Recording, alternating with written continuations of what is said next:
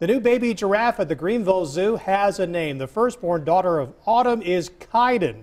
The name was one of 249 submitted to the zoo in an online contest. The Grubel family from Greer entered the name, which has African origins. It means female born after three plus boys. This is Autumn's first girl after having three males. The Grubels also named her first boy Kiko five years ago. We love giraffes. That's why she's decked out in her pink giraffe outfit. We were so excited that we had the opportunity to put it on today.